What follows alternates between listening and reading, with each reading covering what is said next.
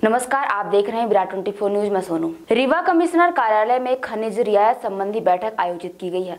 बैठक में कमिश्नर अनिल सुचारी ने कहा कि रोज़गार तथा राजस्व में वृद्धि के लिए खदानों की स्वीकृति आवश्यक है। वन भूमि के समीप प्रस्तावित खदानों को मंजूरी देते समय वनों की सुरक्षा तथा पर्यावरण की सुरक्षा का ध्यान रखें। वन भूमि की सीमा से कम से कम पचास मीटर की दूरी पर ही खनन की मंजूरी दी जाएगी। खदान मालिक को वन भूमि तथा खदान के बीच बाउंड्री वॉल बनाना तथा कम से कम पाँच मीटर चौड़ी पट्टी में वृक्षारोपण करना अनिवार्य होगा। कमिश्नर ने कहा कि वन मंडलाधिकारी तथा खनिज अधिकारी समस्त नियमों का पालन करते हुए खनिज रियायत के प्रस्ताव तैयार करें। निर्धारित मापदंडों को पूरा करने पर ही मंजूरी दी जाएगी। बैठक में कलेक्टर मनोज पुष्प ने कहा कि खदान संचालक बाँस के पौधे रोपित करके ग्रीन बाउंड्री वॉल बनाए। इससे वन और राजस्व भूमि सीमा विवाद की भी परेशानी दूर होगी। पुरानी खदानों की अनुमति में शासन स्तर से वृद्धि की गई है। इन खदानों में पर्यावरण के नियमों का पालन सुनिश्चित कराएँ।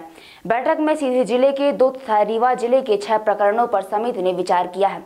रीवा ज़िले की बॉक्साइट की 1985 से स्वीकृत किंतु 2010 से बंद खदानों के संबंध में प्रस्ताव शासन स्तर को भेजने का निर्णय लिया गया है।